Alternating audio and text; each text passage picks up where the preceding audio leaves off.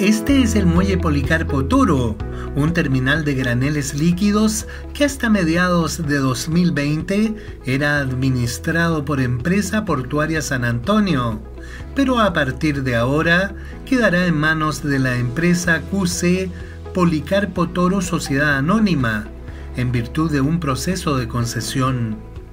Así quedó sellado este viernes 28 de agosto con la firma de un convenio que fue signado por el gerente general de Puerto San Antonio, Luis Knack, y el gerente general de la empresa QC, Hernán Gutiérrez.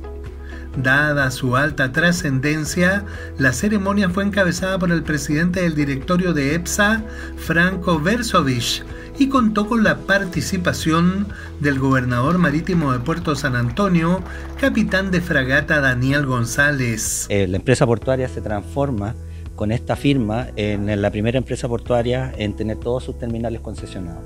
Y lo está concesionando a una empresa que es QC, que tiene un historial eh, bastante reconocido en términos de seguridad y operación del terminal eh, o el sitio 9, el terminal Policarpo Toro.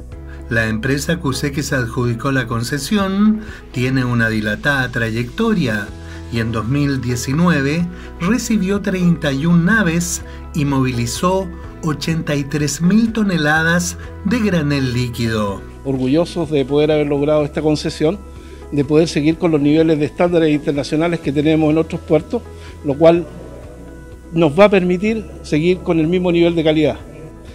En realidad hoy día nosotros tenemos el 30% a nivel nacional de lo que son los productos de, que son los que llegan acá a nivel de la región metropolitana, que son productos commodities muy específicos, donde podemos destacar todos estos productos como jabón, alcoholes, lubricantes, eh, para la pintura, todos pasan por el puerto, todos pasan por nuestro terminal.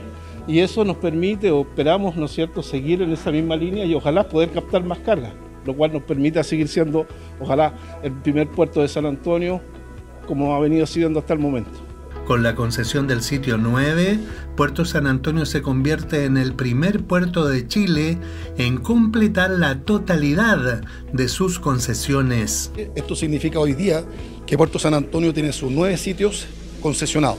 Un paso muy importante, el primer eh, puerto multioperado del país. Así que muchas gracias, estamos muy contentos de mantener esta relación. Este puerto va a potenciar todo lo que son líquidos, jabones, etcétera.